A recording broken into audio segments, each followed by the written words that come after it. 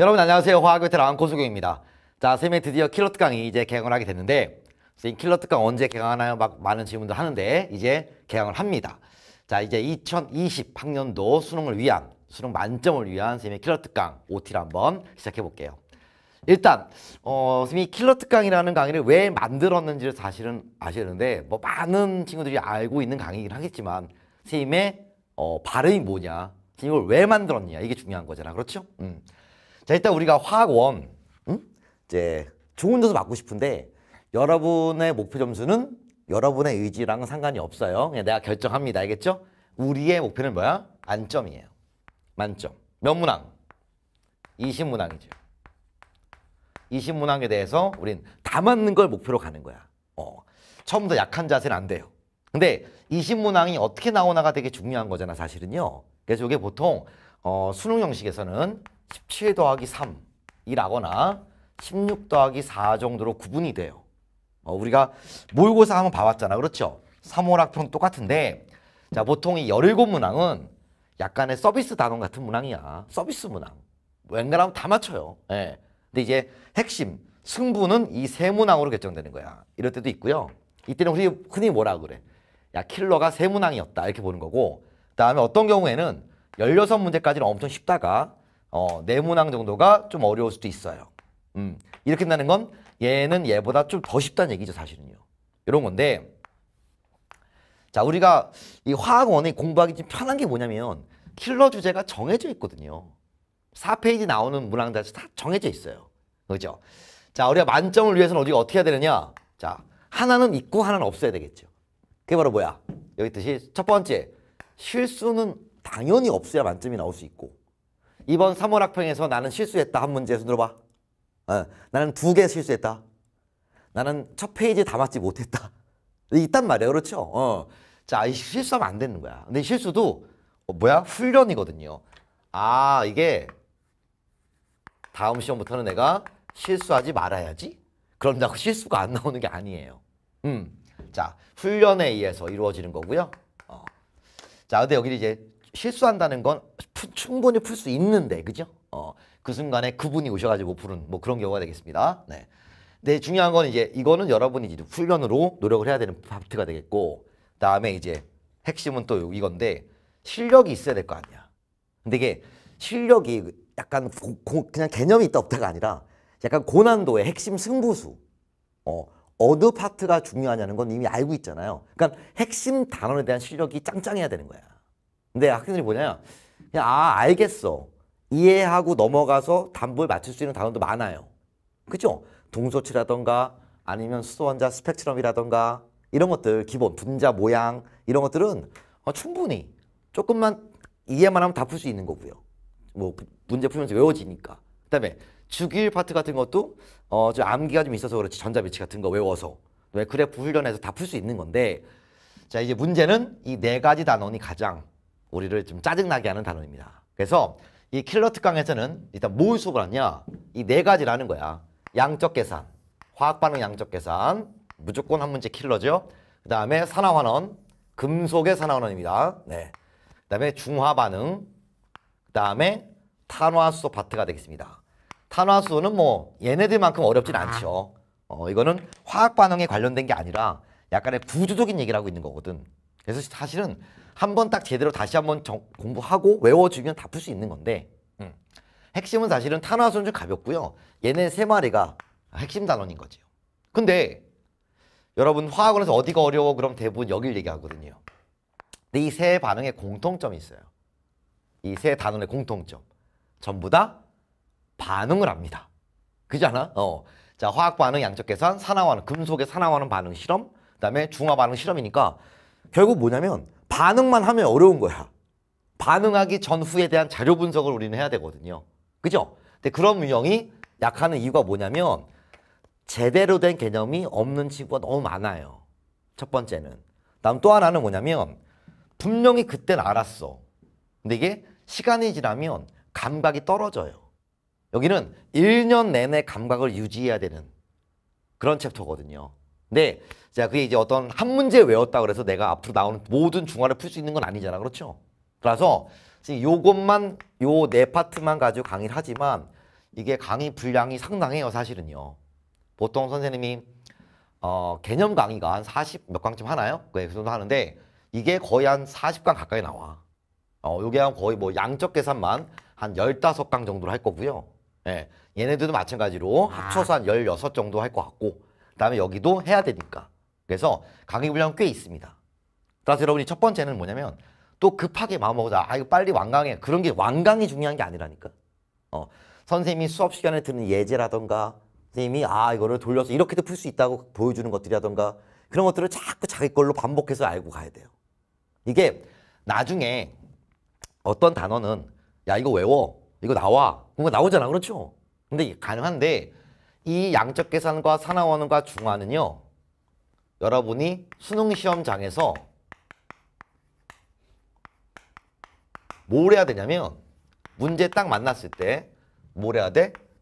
생각을 해야 돼요. 야, 이 문제를 이걸 나한테 왜 낸 거야? 어. 자, 이거는 어떻게 풀란 얘기일까? 생각을 해야 된단 말이야, 생각을.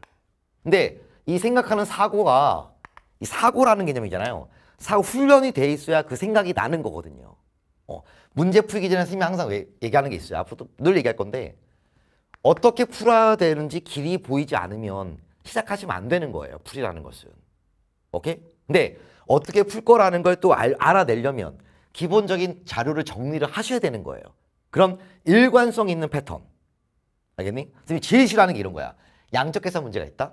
어, 이 유형은 이렇게 풀고 이 유형은 이렇게 풀고 이 유형은 이렇게 풀어요. 문항마다 풀이가 다 달라. 예. 네, 그렇게 풀면 나중에 처음 보는 문제는 못 풀어요. 기출만 풀 수 있었던 거야. 그런 식으로 공부하면. 알겠죠? 처음 보는 문제를 풀어내려면 풀이 방식 자체가 자기만의 어떤 체계가 돼 있어야 되는데 어, 선생님이 체계화된 문제풀이를 알려주는 수업인 거죠. 알겠나요? 음. 그래서 뭐 키러트 강은 일단 선생님 믿으시고 어, 들으시면 되는 거고요. 선생님 당부하고자 하는 건 뭐냐면 한 두 가지 정도.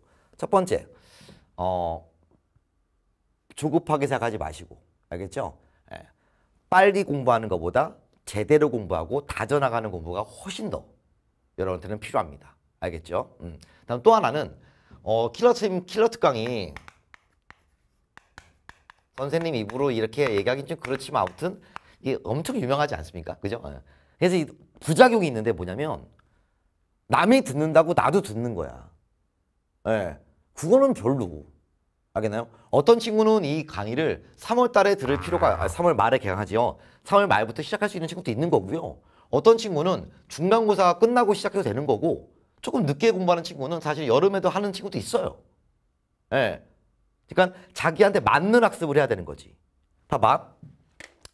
우리가 지금 이 연간 선생님 커리어 중심으로 보면 우리가 지금 개념을 했거든요. 개념. 그죠? 개념 완성. 자, 네. 그 다음 킬러 특강이야. 이게 1학기. 다음 여름에 우리가 7월 말에 7월 중순 이후에 실전 문제 풀이 3, 4, 5, 0을 가고 마지막에 final 모의고사를 가요.